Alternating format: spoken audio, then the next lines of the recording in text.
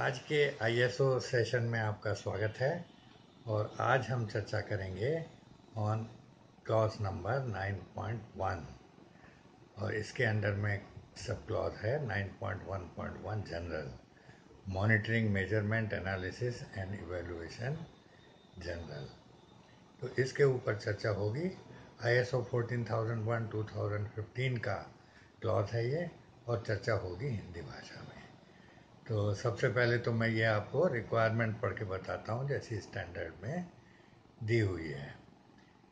तो clause number 9.1.1 general और ये है सब क्लॉज 9.1 का, जिसका टाइटल है monitoring measurement analysis and evaluation तो इसकी रिक्वायरमेंट ऐसे है कि the organization shall monitor measure analyze and evaluates and evaluate its environmental performance. The organization shall determine a what needs to be monitored and measured. B the method for monitoring measurement analysis and evaluation as applicable to ensure valid results. C criteria against which the organization will evaluate its environmental performance and appropriate indicators and D when monitoring and measuring measure, measuring shall be performed. E when the results from the monitoring and measurement shall be analyzed and evaluated. The organization shall ensure that calibrated or verified monitoring and measurement equipment is used and maintained as appropriate. The organization shall evaluate its environmental performance and the effectiveness of the environmental management system. The organization shall communicate relevant environmental performance information both internally and externally as identified in its communication processes and as required by its compliance obligations. The organization shall retain appropriate documented information as evidence of monitoring, measurement, analysis and evaluation results. तो ये है requirement जैसा मैंने आपको पढ़ के बताया English भाषा में और अब हम इसको समझते हैं हिंदी में। तो जो संस्थान है, उसको मॉनिटर करना होगा मतलब बराबर चेक करना होगा और मेजर करना होगा और मेजर करने के बाद उसको एनालाइज करना होगा और एनालाइज करके उसको रिजल्ट्स के क्या नतीजे निकलते हैं, उसको इवेलुएट करना होगा अपनी एनवायरमेंटल परफॉर्मेंस को। कि हमारी जो एनवायरमेंटल परफॉर्मेंस है वो कैसी है? उसके नतीजे कैसे निकल के आ रहे हैं? क्या हमने लागू करने की सोची थी? और क्या रिज़ल्ट निकल के आए हैं? दी ऑर्गेनाइजेशन शेल डिटरमिन और जो संस्थान है वो निम्न चीज़ों को आ, पता लगाएगा कि ए what needs to be monitored and measured सबसे पहली बात कि भाई क्या चीज़ को मॉनिटर करना है और किस चीज़ की मेज़रमेंट हमें लेनी है। ये हमारे ऑब्जेक्टिव से रिलेटेड हो सकता है, या हमारे कंप्लायंस ऑब्लिगेशन से रिलेटेड हो सकता है, या जो और कोई रिक्वायरमेंट है हमारी तो उसके हिसाब से हो सकता है। मगर क्या चीज़ हमको मॉनिटर करनी है और क्या चीज़ मेजर करनी है, ये बहुत क्लियरली निकल के आना चाहिए। तो इसको संस्थान को ये पता लगाना होगा, ये डिटरमिन करना होगा कि मॉनिटरिंग और मेज़रमेंट किस चीज़ का करना है। बी मेथड फॉर मॉनिटरिंग कि ये तो पता लगा लिया कि भाई मेजर क्या करना है मॉनिटर क्या करना है, मगर उसको करना किस तरीके से है, कौन सा मेथड इस्तेमाल करना है मॉनिटरिंग के लिए मेज़रमेंट के लिए एनालिसिस के लिए, और उसको इवेलुएट कैसे करना है as applicable to ensure valid results कि जैसे भी लागू हो, हमें नतीजे सही मिलने चाहिए वैलिड रिजल्ट्स मिलने चाहिए। सही सही पता लगे कि एनवायरमेंटल परफॉर्मेंस कैसी चल रही है। तो इसके लिए हमको ये सब चीज़ें डिटरमिन करना ज़रूरी है, इनको निर्धारित करना ज़रूरी है। अब आते हैं अगले, उसके ऊपर सी के ऊपर।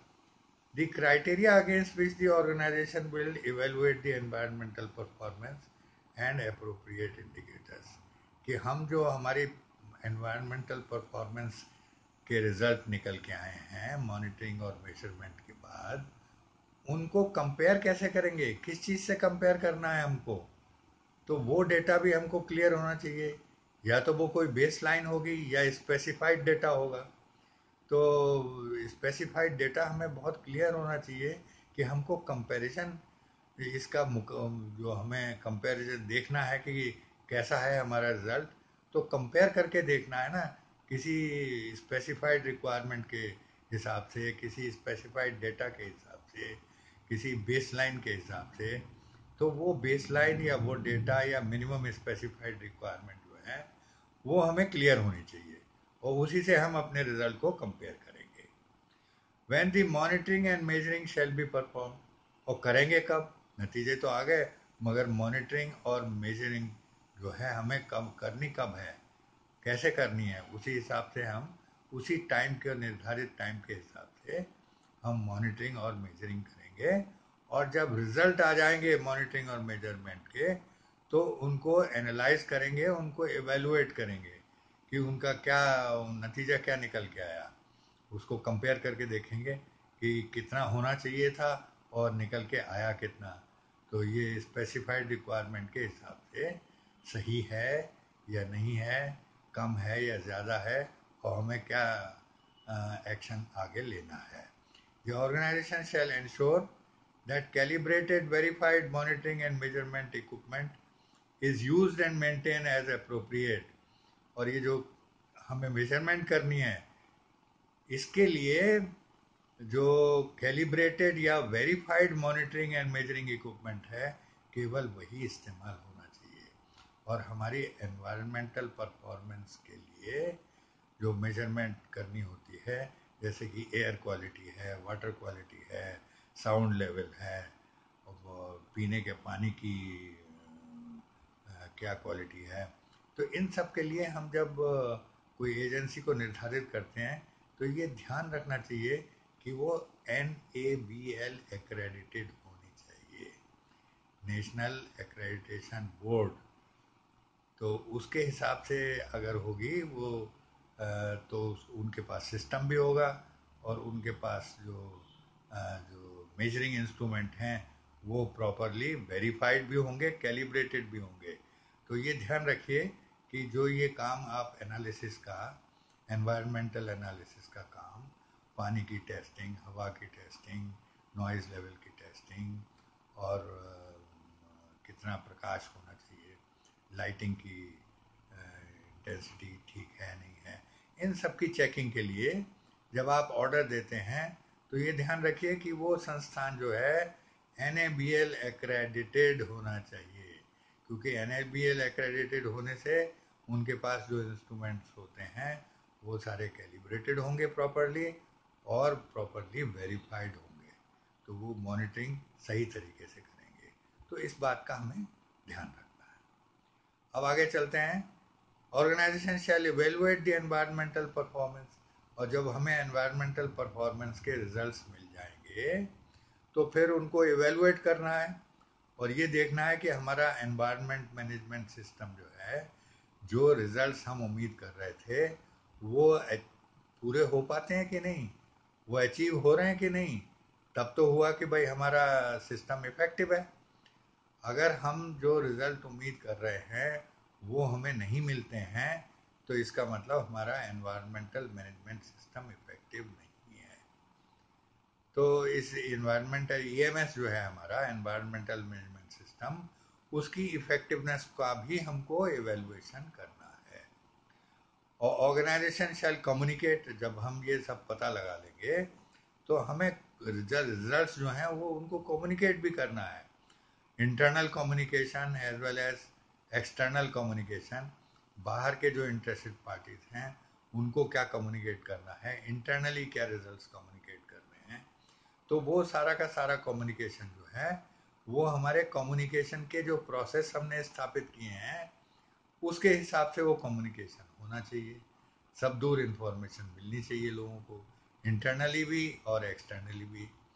या हमारे कंप्लायंस ऑब्लिगेशन में कहीं कुछ अगर लिखा है कि ये इंफॉर्मेशन इस तरीके से मिलनी चाहिए तो वो उसका कंप्लायंस होना चाहिए। The organization shall retain appropriate documented information as evidence of the monitoring, measurement, analysis and evaluation results. और हमें इनके रिकॉर्ड मेंटेन करने होंगे ये सब कुछ जो हमने किया है इस सब के एज एविडेंस कि हमने ये एनालिसिस किया और ये एवेलुएशन किया और ये कम्युनिकेशन किया इन सब के रिजल्ट्स जो हैं उनका एक हमको मेंटेन करना है रिकॉर्ड मेंटेन करना है। तो रिकॉर्ड मेंटेन करना बहुत ज़रूरी है, क्योंकि वही तो रिकॉर्ड ही तो हमारा एविडेंस होगा कि हमने मॉनिटरिंग की थी, हमने मेज़रमेंट किया था एनालिसिस किया था और एवेलुएट रिजल्ट्स एवेलुएट करके हमने कम्युनिकेट किए थे। तो हमारे रिकॉर्ड ही तो बोलेंगे रिकॉर्ड ही तो बताएँगे कि हाँ हमने ये एक्टिविटी की थी। तो वो प्रूफ हमारा बन जाता तो इस तरीके से ये टोटल रिक्वायरमेंट है इस क्लॉज की। और इस क्लॉज के बारे में एनेक्चर ए जो स्टैंडर्ड के एंड में दिया हुआ है, उसके अंदर भी गाइडेंस दी हुई है A nine point one point one general इसके बारे में गाइडेंस दी हुई है, जो मैं आपको क्विकली ये पढ़ के बताता हूँ कि क्या गाइडेंस है वो। Determining what should be monitored and measured In addition to progress on environmental objective, the organization should take into account its significant environmental aspects, compliance obligations and operational controls. तो इन सब चीज़ों का हमें अपने जो environmental aspects हैं compliance obligations हैं operational controls हैं इन सबको मद्देनज़र रखते हुए हमको monitoring तो ये थोड़ी सी गाइडेंस दी हुई है। और आगे इसमें लिखते हैं गाइडेंस में कि method use by the organization to monitor and measure analyse and evaluate should be defined in the environmental management system कि मेथड जो है वो हमारे सिस्टम के अंदर डिफाइंड होना चाहिए। पहले से हमको डिफाइन करके रखना चाहिए, कैसे करेंगे हम मॉनिटरिंग और कैसे एनालाइज करेंगे, कैसे इवेलुएट करेंगे, ताकि हमें ये टाइमिंग जो है, जो मॉनिटरिंग एंड मेजर की उसके हिसाब से हम कोऑर्डिनेट कर सकें अपनी एनालिसिस और इवेल्युएशन के रिजल्ट्स को। और the result of monitoring and measurement are reliable reproducible and traceable ये हमारे जो रिजल्ट्स निकल के आते हैं, ये मॉनिटरिंग और मेज़रमेंट के वो रिलायबल रिलायबल तो तभी होंगे जब हम सही सोर्स से इसको मॉनिटर कराएँगे या सही एजेंसी को ये काम देंगे। या इक्विपमेंट को हम सही तरीके से इस्तेमाल करेंगे और जो भी हमारा प्रोसीजर है, उसको ठीक तरीके से प्रोसेस कर प्रोसीजर को फॉलो करेंगे तो फिर हमारे रिजल्ट्स जो हैं वो सही निकल के आएँगे। The analysis and evaluation are reliable and reproducible and enable the organization to report the trends तो हमें ये जो एनालिसिस और एवेलुएशन के रिजल्ट्स हैं, इनसे ट्रेंड का पता लगेगा कि हमारा जो प्रबंधन है इसका, वातावरण प्रबंधन, ये ठीक चल रहा है कि नहीं चल रहा? और environmental performance analysis and evaluation result should be reported to those with responsibility and authority to initiate appropriate action कि जिन लोगों को हमने अथॉरिटी दे रखी है, उनको ये रिज़ल्ट ज़रूर कम्युनिकेट करने हो, चाहिए, ताकि वो एक्शन ले सकें। प्रॉपर एक्शन अगर रिज़ल्ट ठीक नहीं है तो आगे के लिए एक्शन ले सकें। और इसमें एक रेफरेंस भी दिया हुआ है कि I S O fourteen thousand thirty one as a reference document आप इसको भी रेफर कर सकते हैं। तो उम्मीद है कि आपको ये रिक्वायरमेंट समझ आ गई होगी, जो 9.1.1 जनरल क्लॉज जो है, ये है सब clause 9.1 monitoring measurement analysis and evaluation का, और इसकी रिक्वायरमेंट को अभी हमने डिस्कस किया है डिटेल में। उम्मीद है कि आपको रिक्वायरमेंट समझ आई होगी, और नई कोई चीज़ समझ में आई है तो भाई अपना शक शुबा जो भी है आपका, वो इसी वीडियो के नीचे लिख दीजिए, और मैं आपको क्लैरिफिकेशन दे दूँगा क्लैरिफाई कर दूँगा उसको। और मेरे चैनल को सब्सक्राइब करना ना भूलें, और बेल आइकॉन को भी दबा दें, ताकि अगला वीडियो आपके पास बिल्कुल समय से पहुंचेगा टाइमली आपके पास पहुँच जाएगा। और अगर मेरे वीडियो पसंद हैं तो भाई उनको लाइक भी कर दीजिए, उनको आपस में शेयर भी कर लीजिए। तो मुझे बड़ी खुशी होगी अगर आप ऐसा करेंगे तो। थैंक यू वेरी मच और मिलते हैं फिर अगले वीडियो में, जो होगा अगले क्लास के ऊपर। Thank you and bye